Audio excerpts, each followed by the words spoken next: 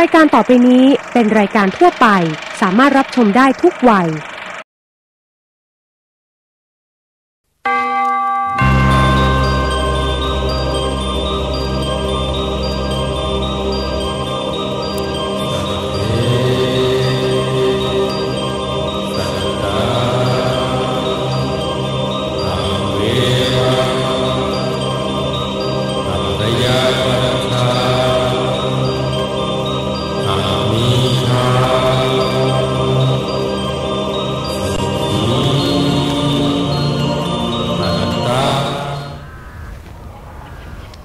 สวัสดีครับท่านผู้ชมครับ ในช่วงนี้ก็อยู่ในช่วงของเทศกาลเข้าพรรษาอยู่นะครับ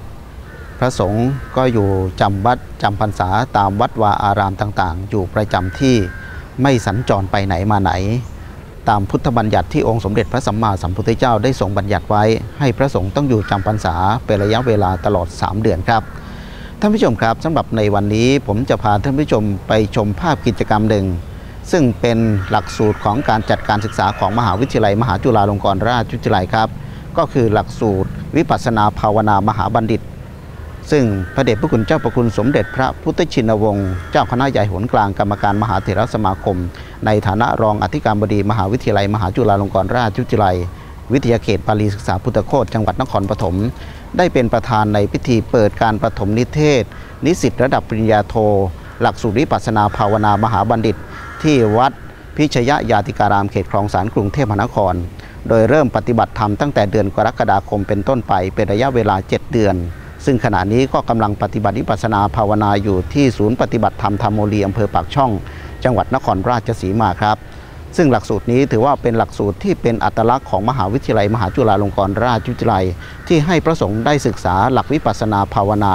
ในการที่จะทำหน้าที่เป็นพระวิปัสนาจารย์ต่อไป สั่งสอนพระพุทธศาสนา สั่งสอนพุทธศาสนิกชนครับ รายละเอียดของการปฐมนิเทศหลักสูตรนั้นเป็นอย่างไรบ้างเราไปติดตามชมเลยครับ ผลการปฏิบัติวิปัสสนาภาวนา ตลอดระยะเวลาเจ็ดเดือน โดยสังเขปดังนี้ ช่วงที่หนึ่งการปฏิบัติวิปัสสนาภาวนา หน้าศูนย์ปฏิบัติธรรม ธรรมโมรี ตำบลหนองน้ำแดง อำเภอปักช่อง จังหวัดนครราชสีมา ระยะเวลาสี่เดือน นิสิตทุกรูปคนมีกุศลฉันทะในการปฏิบัติธรรม ตามแนวทางที่องค์สมเด็จพระสัมมาสัมพุทธเจ้า ได้ประทานไว้ ด้วยความตั้งใจ โดยเริ่มจากการเจริญสติทั้งอิริยาบถใหญ่และอิริยาบถย่อย ตลอดกลางวันและกลางคืนทำให้เกิดวิปัสสนาญาณเห็นความเป็นจริงของชีวิตโดยความเป็นรูปนามปรมัตถ์ มีอาการเกิดดับอย่างชัดเจน ด้วยความเมตตาของเจ้าพระคุณหลวงพ่อสมเด็จที่มาเยี่ยมให้กำลังใจ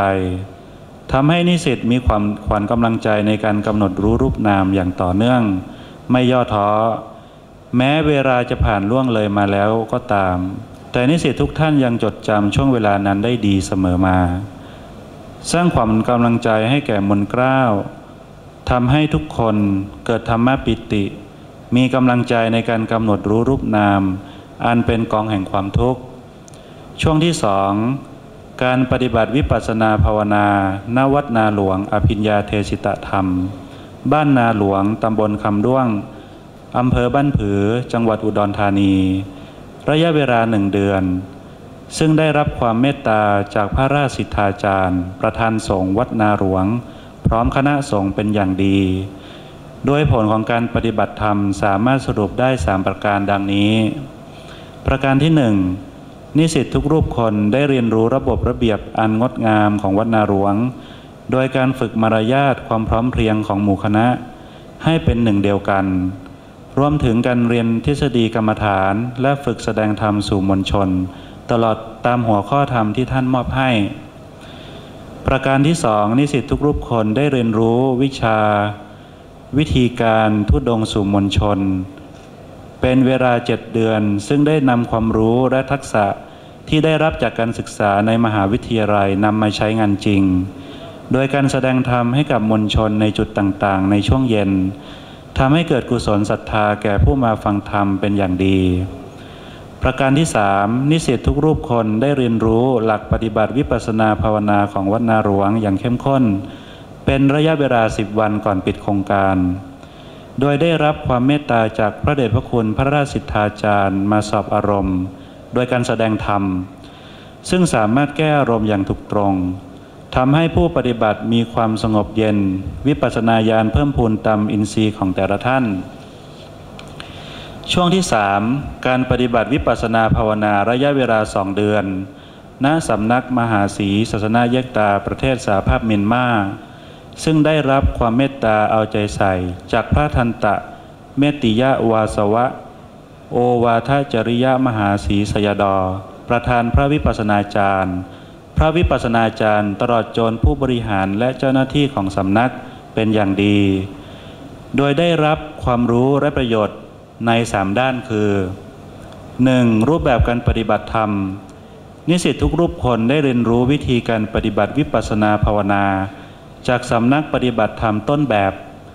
ซึ่งท่านจะเน้นในเรื่องของการปฏิบัติตามตารางเวลาที่วางไว้อย่างเคร่งครัด ในการเดินจงกรมนั้น ท่านจะเน้นให้เดินระยะที่ 1 ถึงระยะที่ 3 เป็นหลัก โดยให้มีสติรู้อาการของเท้าอย่างต่อเนื่อง ส่วนการนั่งสมาธินั้น ท่านจะเน้นให้มีสติจดจ่อกับอารมณ์ท้องพองยุบอย่างต่อเนื่องเช่นเดียวกัน วิธีการดังกล่าวทำให้ผู้ที่ผู้ปฏิบัติ เกิดสมาธิได้ไว จิตตั้งมั่นเห็นอาการเกิดดับของรูปนามปรมัตชัดเจน 2. รูปแบบการสอบอารมณ์ นิสิตทุกรูปคนได้เรียนรู้วิธีการสอบอารมณ์ จากสำนักปฏิบัติธรรมต้นแบบ คือในช่วงบ่ายของทุกๆวันยกเว้นวันพระ นิสิตต้องส่งอารมณ์ ในการปฏิบัติแก่พระวิปัสสนาจารย์ โดยรูปแบบการสอบอารมณ์นั้น ท่านจะเน้นสอบถามความถูกต้องของวิธีการปฏิบัติ เดินจงกรมนั่งสมาธิเป็นหลัก รวมถึงสภาวะธรรมที่เกิดขึ้นในขณะนั้น ส่วนการแก้อารมณ์กรรมฐาน ท่านจะแก้สภาวะที่เกิดขึ้นของแต่ละบุคคล และในวันพระ ท่านจะบรรยายธรรม ตามสภาวะธรรมของโยคีส่วนใหญ่ เพื่อแก้อารมณ์กรรมฐานอีกครั้ง 3. รูปแบบการจัดการสำนัก นิสิตทุกรูปคนได้เรียนรู้ระบบการจัดการจากสำนักปฏิบัติธรรมต้นแบบ ซึ่งท่านแบ่งระบบการจัดการเป็นสัดส่วนอย่างชัดเจน เช่น การแยกสถานที่ปฏิบัติธรรมของนิสิตออกจากคณะอื่น เพื่อให้เกิดสัพยธรรมในการปฏิบัติ โดยมีเจ้าหน้าที่คอยดูแลเอาใจใส่เป็นอย่างดี หรือการรับอาหารบิณฑบาตทที่ถูกจัดไว้เป็นสัดส่วนไม่ปะปนกันเป็นต้น เหล่านี้เป็นส่วนหนึ่งของการจัดการที่เป็นระบบระเบียบที่เหมาะสมของสำนัก เพื่อประโยชน์ในการปฏิบัติธรรมของโยคี ผลของการปฏิบัติธรรมทั้งหมดที่กล่าวมานี้ ไม่อาจเกิดขึ้นได้ถ้าไม่มีโครงการ อันเป็นดำริของเจ้าพระคุณสมเด็จพระพุทธชินวงศ์ซึ่งมนเกล้ามีความรู้สึกปรับเรื่มบุญบารมีที่ได้เข้ามาศึกษาและปฏิบัติ รวมถึงมีความรู้สึกอย่างเป็นเอกฉันท์ว่า ความดำริของเจ้าพระคุณสมเด็จที่ได้สนองแนวทาง สอดคล้องกับธุระที่องค์สมเด็จพระสัมมาสัมพุทธเจ้า ได้ประทานเป็นภาระธุระในพระพุทธศาสนา ซึ่งมนกล้าวมั่นใจอย่างยิ่งว่า โครงการในดำริของหลวงพ่อสมเด็จนี้ จะสร้างคุณประโยชน์ต่อพระศาสนาหาประมาณไม่ได้ จะขอเจริญพร ผู้ที่มีจิตศรัทธาถวายความอุปถัมภ์ในการปฏิบัติวิปัสสนากรรมฐาน ของนิสิตรุ่นที่ 13 ด้วยเป็นอย่างยิ่ง วันนี้เป็นวันเปิดปฐมนิเทศ การปฏิบัติวิปัสนากรรมฐานของนิสิตรุ่นที่ 13 แต่ต้องขอขอบใจคณาจารย์ เจ้าหน้าที่และที่สิทธิ์ที่ได้เจริญพระปริตโพชงให้ฟัง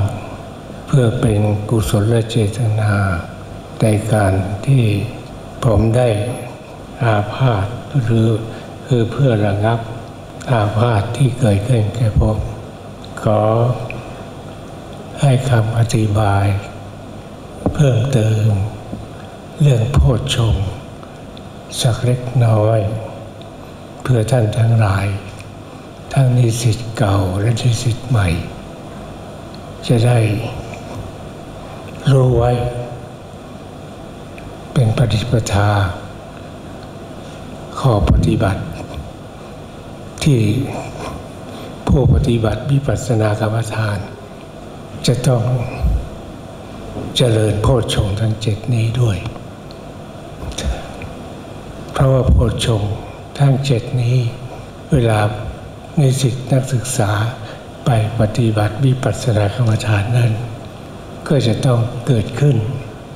แก่นิสิตนักศึกษา อาจจะเป็นตั้งแต่วันแรกที่กำหนดก็อาจเป็นได้ เพราะว่าโพชฌงทั้งเจ็ดเนี่ยเป็นองค์แห่งการตรัสรู้จะเกิดขึ้นแก่โยคีผู้ปฏิบัติ ที่กำหนดนะที่กำหนดสติปัฏฐาน ข้อธรรมานุปัสสนาสติปัฏฐาน พราะโพชฌงค์เจ็ดนั้นอยู่ ในหมวดของธรรมานุปัสสนาสติปัฏฐานในขณะเดียวกัน โพชฌงค์เจ็ดจะเกิดขึ้น แก่จิตของโยคีผู้ปฏิบัติ เมื่อโยคีผู้ปฏิบัตินั้น ได้บรรลุถึงขั้นอุทยพยายาน คือการเห็นการเกิดดับของรูปนาม ซึ่งเป็นปัญเอ่อซึ่งเป็นปัญญาวิปัสนา หรือวิปัสนาปัญญาขั้นที่สี่เพราะเมื่อโพชฌงเจ็ดเกิดขึ้นแล้ว ก็จะทำให้โยคีรู้ความเกิดดับของรูปนาม เห็นไตรลักษณ์ คืออนิจจังทุกขังอนัตตานะเพราะอะไร เพราะว่าโพชฌงเป็นองค์แห่งการตรัสรู้นะไม่ใช่ธรรมะขั้นต่ำนะเราท่านทั้งหลายที่นำพระบริตมาสวดเนี่ยความจริงไม่ใช่โพชฌงจริง ๆ โพชฌงจริงๆเขาเรียกโพชฌงค์สูตรนะมีอยู่สามสูตรเขาเรียกสามพาน โบราณเรียกสามพานนะแต่ว่าที่เรานำมาสวดเนี่ยเป็นบทประพันธ์ของพระเทระชาวศรีลังกา ที่ท่านประพันธ์สรรเสริญ บทสวดโพชฌงเจ็ดนะซึ่งเราเอามาตรวจกันเป็นพระปริตนะแต่โดยใจความแล้ว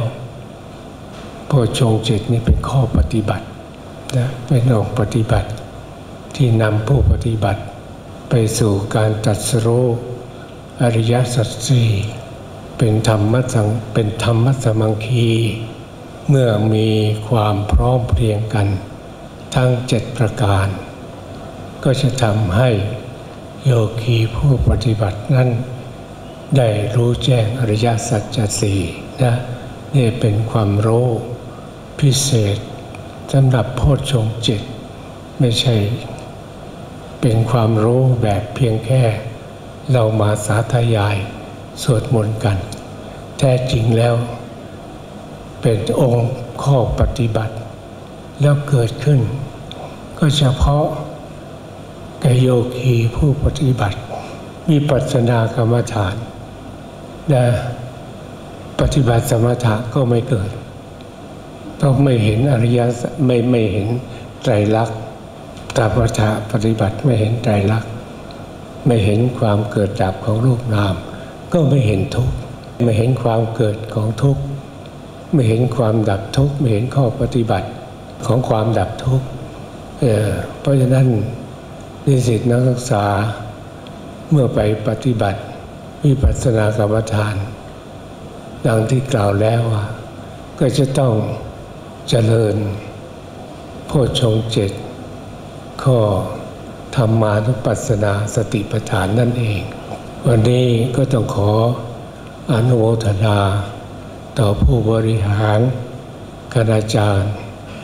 ทุกฝ่ายที่ได้บริหารหลักสูตร การเรียนการสอนในภาคทฤษฎี ให้แก่นิสิตนักศึกษา จนจบทั้งคอร์ส และก็นำนิสินักศึกษานี้เข้าสู่คอร์สของการปฏิบัติ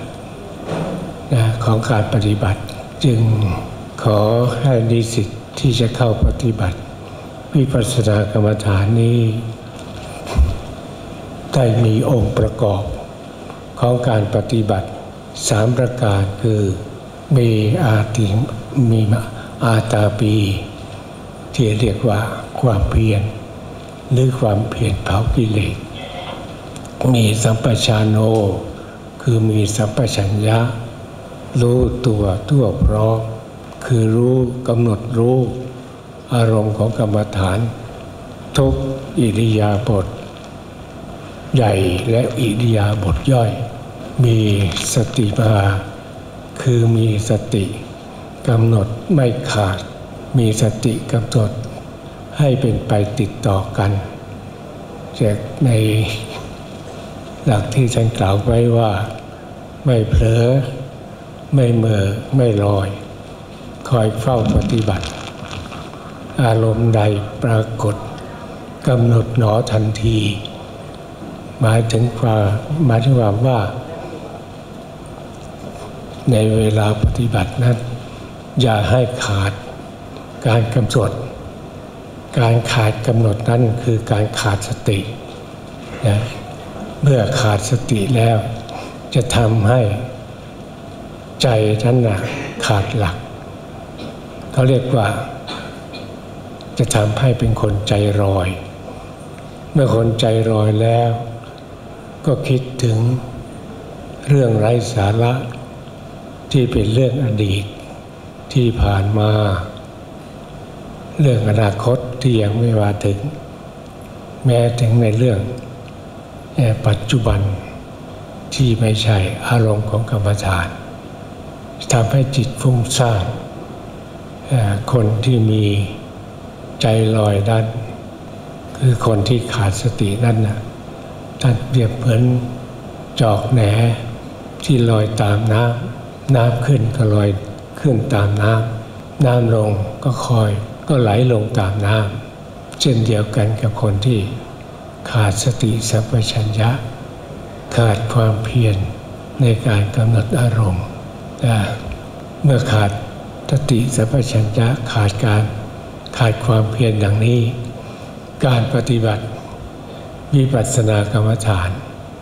ก็ไม่เจริญก้าวหน้าทำให้เกิดความท้อแท้ท้อถอย เกิดความลำบาก กิดความเหนื่อยหน่าย ขาดความอดทนคือขาดขันติ เมื่อขาดการอดทน ก็เลยเป็นการเขาเรียกว่ายานหอบสัวเกิด สมัยที่ผมเคยไปปฏิบัติมีปัสสนากรรมฐานที่เวกสม มีเพื่อนโยกีหลายรูปแต่พอปฏิบัติได้สามวันสี่วัน บอกทนไม่ได้ ไม่เอาแล้ว ขอกลับวัดดีกว่าเรียกว่ายานหอบเสือเกิดนะเพราะฉะนั้นนิสิตนักศึกษาถึงจะต้องใช้เวลาปฏิบัติ นานอย่างที่พุทธอย่างที่สำนักธรรมโมรี ก็ถึงสี่เดือน ก็ต้องใช้คัติ ความอดทนเป็นอย่างมากแต่อย่างที่กล่าวไว้แล้วว่าไม่ใช่ใช้คันติความอดทนอย่างเดียว ต้องมีความเพียร มีสติสัมปชัญญะ ปฏิบัติให้ติดต่อกัน ไม่ขาดสาย ผมมีความเชื่อว่า เมื่อท่านทั้งหลายปฏิบัติ ติดต่อกันไม่ขาดสายเนี่ยผลของการปฏิบัติ จะเริ่มให้ผล แก่ท่านทั้งหลาย จะค่อยๆพัฒนาจิตใจของท่านทั้งหลายนั้นให้เกิดปีติความเอิบอิ่มใจ เกิดความสุขใจ มีบาลีท่านกล่าวสรรเสริญกำลังของสมาธิที่เกิดจากการปฏิบัติ ไว้ว่าอาเสจตโก สุขวิหารโรอาเสจตโกเนี่ย แปลว่าไม่ต้องไม่ต้องรถแต่ถ้าจะเปรียบเหมือนว่า คนที่เดินทางเหน็ดเหนื่อยมา ได้เอาน้ำลดที่สะมันก็จะเกิดความสดชื่นขึ้นมา แต่ในการปฏิบัติเมื่อผู้ปฏิบัติได้สมาธิญาณดีๆ จิตใจก็จะเกิดอเสจนโก คือความสดชื่น แล้วก็การอยู่เป็นสุข และจิตก็ค่อยๆ สงบได้ประณีตสันโตจะประณีตตัวจะค่อยๆ สงบและประณีตเยือกเย็นขึ้นทุกขณะ นี่เป็นผลของการปฏิบัติที่โยคีจะได้รับ อันเกิดจากสมาธิจิตในระดับหนึ่ง ต่อเมื่อผ่านสมาธิแล้วเกิดวิปัสสนาปัญญา ที่ก็จะมีผลเกิดอีกระดับหนึ่ง แต่ว่าความสุขที่เกิดจากสมาธิและ ปัสสัทธิที่เกิดจากความสงบ พระศาสนานั้นจะเจริญหรือจะเสื่อมเนี่ยไม่ใช่เพราะเหตุอื่น แต่เป็นเหตุเพราะพวกเราท่านทั้งหลายนี่แหละ ที่ขาดการเจริญขาดการปฏิบัติ ไม่สามารถที่จะนำหลักปฏิบัติ ในคำสอนของพระสัมมาสัมพุทธเจ้า เข้ามาไว้ในตนเองได้ และในการปฏิบัติของท่านทั้งหลายนี้ ได้ชื่อว่า ปฏิบัติตามหลักธุระในพุทธศาสนา ตามที่ท่านเจ้าคนประเทศได้กล่าวไว้แล้ว ผมจึงขออนุโมทนา และให้กำลังใจแก่ท่านทั้งหลาย จึงขออำนาจคุณพระศรีรัตนตรัย และกุศลเจตนา แห่งการที่ผมได้จัดตั้ง หลักสูตรวิปัสสนาภาวนาจงนนบันดาลประทานพรให้ทุกท่าน ในขณะปฏิบัติ ขออย่าได้มีอุปสรรคอันตรายใดๆมาขัดขวาง และขอให้ทุกท่าน ได้ประสบความสำเร็จในการปฏิบัติ ผ่านวิปัสสนา ญาณไปตามลำดับขั้นตอน ตั้งแต่ระดับต่ำจนกระทั่งระดับสูงด้วยกันทุกๆทท่าน และขออนุโมทนา ต่อญาติโยมสาธุชนทั้งหลาย ที่ถวายความอุปถัมภ์การปฏิบัติวิปัสสนา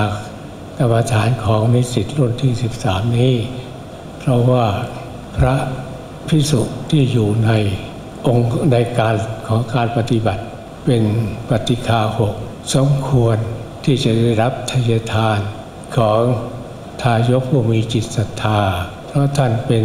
เนื้อนาบุญที่บริสุทธิ์ ทั้งศีล ทั้งสมาธิและปัญญา สามารถที่จะทำให้ทายทาน ที่ทายกทายิกาได้ถวายความอุปถัมภ์ได้รับอานิสงส์มาก มีผลมาก ขออนุโมทนา ท่านไว้ในที่นี้ด้วย และขอขอบใจเจ้าหน้าที่ครูบาอาจารย์ของวิทยาเขตบริศึกษาพุทธโคตที่ได้เอาใจใส่ ดูแลการบริหารงานของพุทธโคตมา จนกระทั่งถึงปัจจุบันนี้ได้มีความเจริญก้าวหน้าด้วยกันทุกๆทท่าน ทุกๆคนเทิน